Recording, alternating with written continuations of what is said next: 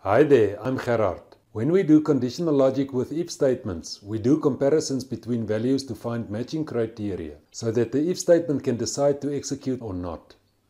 Decisions are therefore made based on Boolean values or the result of expressions that yield Boolean values. We typically use an equal sign in the if statement to do comparison, and an else statement will often handle the actions that must execute when a match doesn't exist.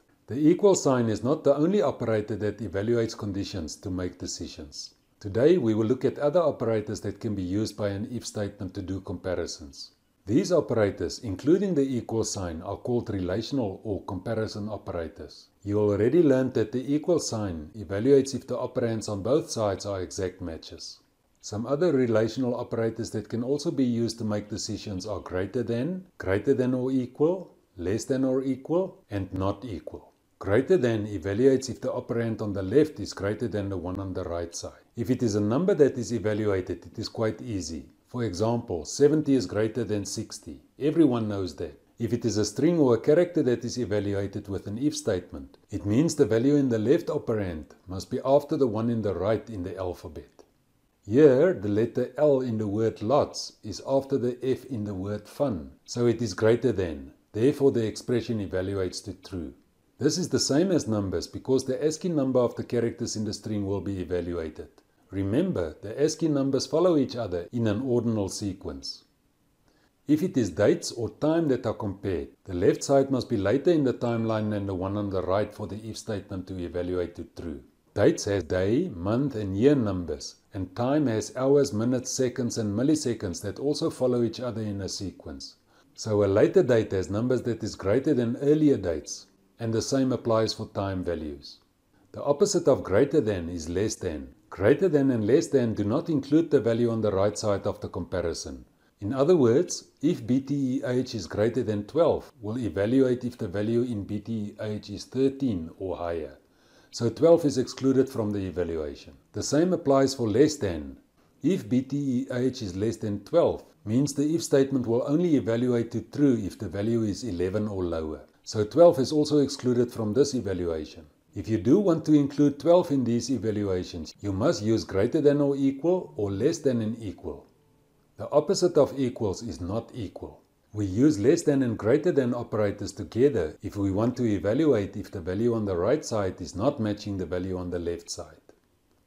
Let's try relational operators with the project we started last time. Like always, I already created the user interface to save time. This is how the project must look when we are done. The application requires a name and an age. If you leave the name edit blank, the panel at the bottom must display a name is required in red and the focus must be returned to the edit. We already completed the code for this validation in the previous lesson. If you do enter the name and the age, the program must look at the age and show an age category in this panel in black font. Every age must fall in a category that spans 10 years. So any age in a decade range will show the person's name and age group. My son's name is Philip and he is 25 years old.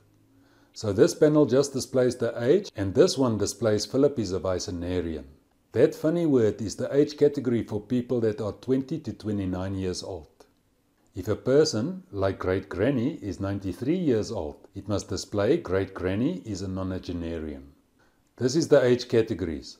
I'm not going to try to pronounce all these funny genarian words, but notice that we will call a person younger than 10 a young child, and anyone older than 110 is a supercentenarian.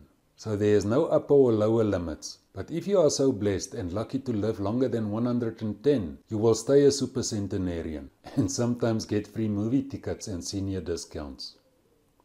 If you want to do the project with me, you will find the link in the description below this video that will take you to my Patreon page at patreon.com slash learndelphi. Go download the starter files and come back here and write the code with me. You will also find the link to Embarcadero's download page where you can download Delphi 10.3 Community Edition for free. That's what I'm using to record these lessons. So sometimes you do not have to be a centenarian or even a super centenarian to get free stuff.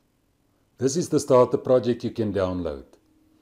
The user interface is already open in my Delphi IDE. If you are ready, let's first double click the button. Here we already have the code that we wrote last time. We declared these variables for the name in the edit and the age in the spin edit. This if statement checks if the value in the name edit is empty. If so, these statements will tell the user that the name is required and then focus will be returned to the edit so that the user can type a name.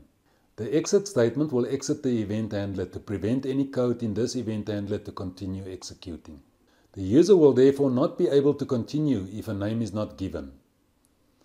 If a user type a name in the edit, this line changes the panel's font back to black if it was changed to red before.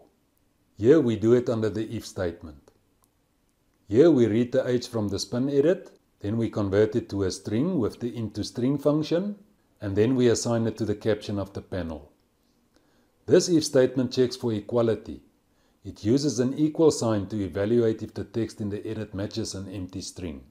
If so, it executes these statements and exits the whole event handler. If not, it ignores this block and the compiler continues with the rest of the code in the event handler. We also used the equal sign to evaluate conditions in the previous lessons. Let's see what happens if we replace the equal sign with not equal. Remove the equal sign and type less than and greater than in its place. Run the program. Click the button without the name in the edit. Delphi's compiler finds nothing wrong with that because the text is an empty string. So the compiler will skip the statements in the if block and continue without showing a message. But it does show the age in the panel. Now type your name and click the button. The code in the if statement executed because the text in the edit is not empty. So not equal to will throw the whole apple cart upside down and do exactly the opposite of equals. Close the form. Remove the less than and greater than operators and replace it with an equal sign. You can also go and play around with greater than, less than, greater or equal, and less or equal, and see how your program apply the logic of different relational operators. But you can do that later. Let's now do the age categories. We have 11 different conditions to handle. Let's first declare a string variable that stores an age category. Put your cursor after str name and type comma strh category. Make a new line here and type if followed by a space. Over type true with BTE age greater than equal to 110. After then type strh category colon equals supercentenarian. And for now terminate the line. Here we evaluate if the value in BTE age is greater and equal to 110. We use greater or equal because we also want to evaluate 110. Remember, without the equal sign, it will evaluate 111 and higher. Go to this statement and remove the word name and the plus, then add this part at the back. Now we read the name from the edit that is stored in the string variable named strname. We then concatenate the value with a literal string and we concatenate all that with the string variable that contains the age category. Then we assign all that to the caption of PNL age category. This statement is now separate from the if statement because of the line terminator here on the previous line. So this will happen regardless of the if statement's result. Run the program, type your name and type 85 in the spin edit and click the button. 85 is lower than 110, so the if statement evaluates to false. We don't have code for ages under 110, so the panel only shows Gerard is A, without the age category. So here you can see that the last code we typed is executed, even if the if statement's condition is not met. Now type 120 in the spin edit, click the button. Now the if statement evaluates to true, and it shows that you are a supercentenarian. Close the form. Put your cursor at the back of the if statement and remove the line terminator. Press enter. On the new line type else followed by a space and then if bteh greater or equal to 100. And after then type strh category colon equals centenarian and enter statement. This else if statement will check if the age is above 100 and if it is, the category will be centenarian, which will now be stored in the string variable. Only one of these if statements will evaluate to true. If the age is 110 or higher, the first if will execute. And if not, the compiler will evaluate the next if statement. If the value is above 100, the action in the first if statement will be ignored and the second if statement will return true, which will then assign centenarian in the string variable named strh category.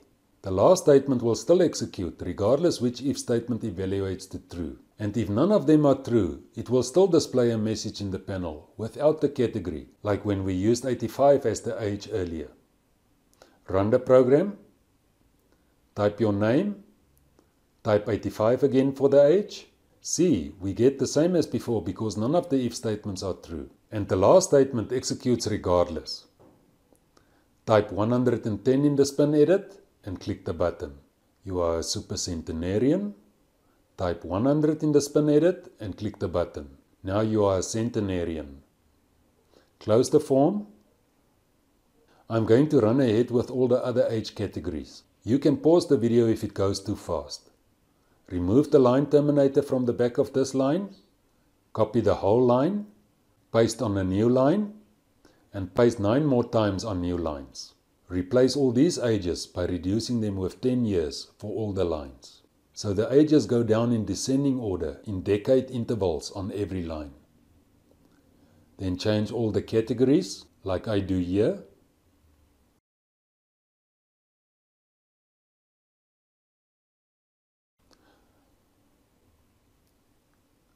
Okay, now there's one condition left. All these age groups are for people 10 years and older, but we don't have a category for young children 9 years and below. We can cover them in a final else statement. Make a new line under the last if statement and type else strh category colon equals young child and terminate this line. Notice that only the last else statement has a line terminator. In other words, all these statements can also be typed on one single line, but that will make it difficult to read. You can also type the actions after then on separate lines. This is how it will look. And in a previous video, I said that I like to use begin and end statements, even if my if statement must just perform one action per condition. But with so many conditions, the code will be too long and difficult to read. And also notice that I start with the highest age category if I use greater than or equal. If we started with the lowest age category like this, which is 10, then most of the ages will fall in this category. Because all ages above 10 will then be handled by the first if statement. Then only people under 10 years old will not evaluate to true. Remember, the compiler reads from top to bottom, so the first if statement will be evaluated. And if it is false, the next if statement, and then the next, and so on. This statement is still at the bottom, and it executes regardless which condition is met, just like before. Let's run the program. Type your name in the edit and 85 in the spin edit. Click the button. Octuagenarian is the age category. Now make the age 120 and now you are supercentenarian. Change it to 5 and you are a young child. And now test it with your own age. When you are done, close the form and save the program. We will come back to this project later.